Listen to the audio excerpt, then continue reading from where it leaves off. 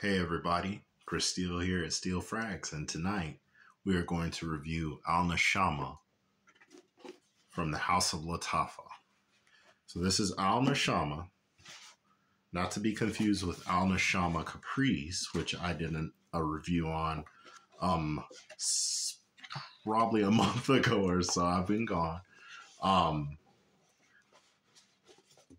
I have not been feeling like doing these videos. I've been a little burnt out, a little bored. Um, just my mind's been other places other than fragrances. And I've just been a real lazy little bum for the past couple weeks or so. But I'm back to help you make the world a better smelling place. So help me help you make the world a better smelling place. Like, comment, subscribe, show some love to the channel so that I can continue to show love what you got to you guys with these fragrances. Anyway, let's get right into it. So this is the bottle.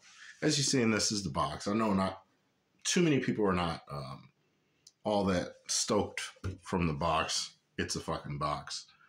At the end of the day, what we care about is this and what it smells like. So let's jump right in. Al Nashama.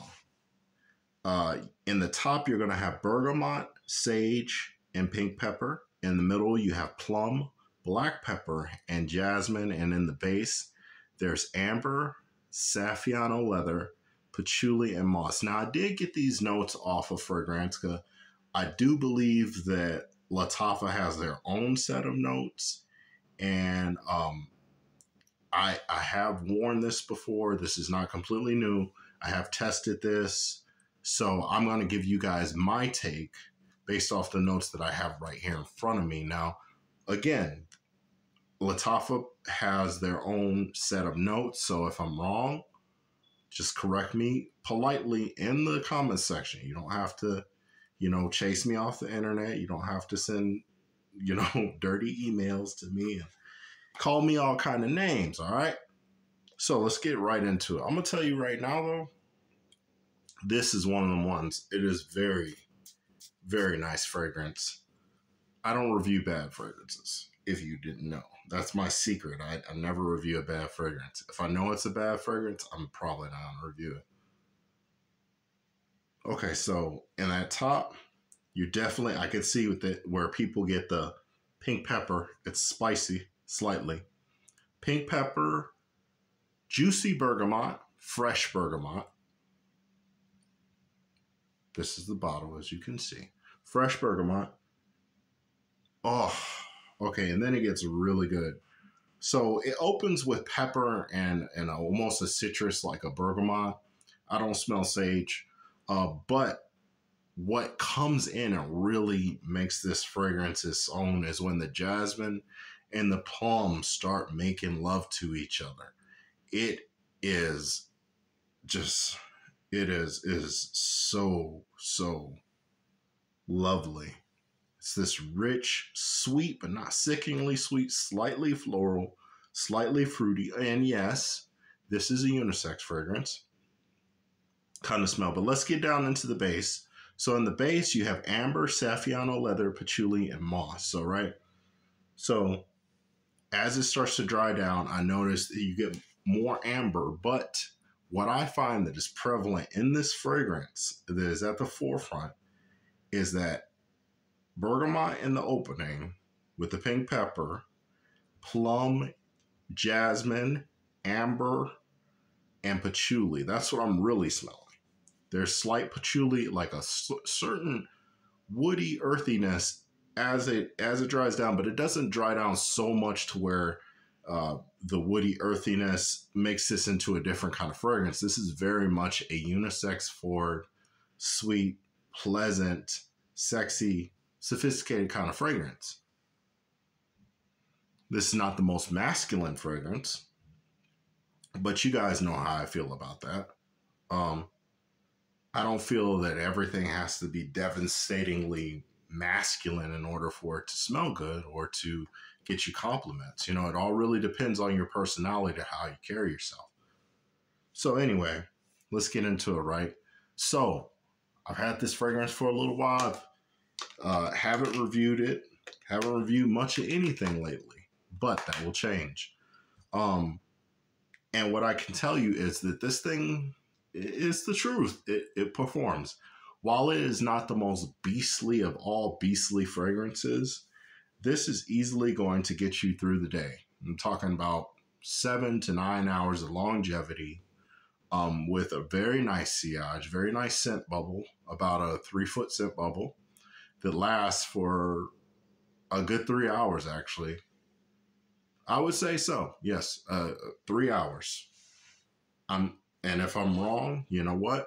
Unsubscribe, flag this video, call your alderman, call Donald Trump, tell him what's going on, so you know, so something can be done about it because this that's serious. No, but in all seriousness, um, great performance. Uh,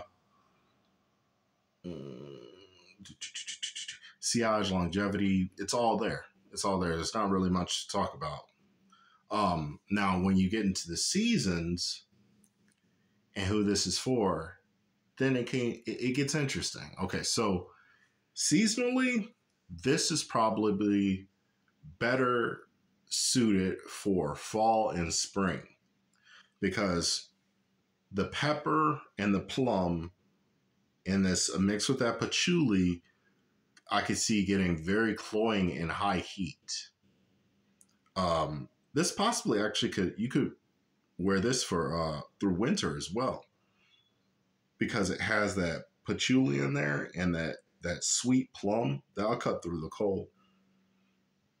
Yeah, it has an amazing sillage. Like I can just go like this and kind of smell it all over. Um, but yeah, those those kinds of seasons, transitional seasons, fall, spring, and even winter. Just maybe not the coldest days because you know we got we got something for that. Um, and who is this for? I would say that this is for somebody who is playful, adventurous, sophisticated, has a good sense of humor, um, has a bit of a, a of a of a nice kind of uh, the way they carry themselves. They have a bit of a um, fashion sense. They're not a they're not an old fogey. They're not somebody who's just stuck in their ways. You know, somebody who's open minded and it is very much unisex fragrance. Like most of the fragrances that I really like are unisex fragrances. Um, so if you're not into like sweet or floral fragrances, this might not be for you. There's nothing wrong with that, man. I love you all the same. What I what I eat don't make you shit. What you eat don't make me shit. So don't worry about it, man. It's water under the bridge. You can wear whatever you want. You can go to the local gas pump get you some get you some unleaded, like a big gallon of unleaded, you know, and just slather it all over you. And guess what? It's not gonna affect me. It's not gonna affect your neighbor. Well, maybe if you smoke a cigarette, light a match, it'll. I don't know what the hell I'm talking about. Anyway, I'm basically saying that wear what you want to wear and don't give a damn about what other people have to say or think about as long as it's not at your job because then you might get fired or written up. So always remember that. In fact, I want that on my uh, gravestone when I pass away. Anyway, that's enough of my shenanigans. This has been Lattafa Al Nashama showing love on the Chris Steel Fragrance channel. And like I said, help me help you make the world a better smelling place. And the way we do that is by liking, commenting, subscribing, interacting, and sharing our experiences on these lovely fragrances. Anyway, you guys have a blessed night. I look forward to seeing you guys in another video. And as always, as you know, peace until the next one.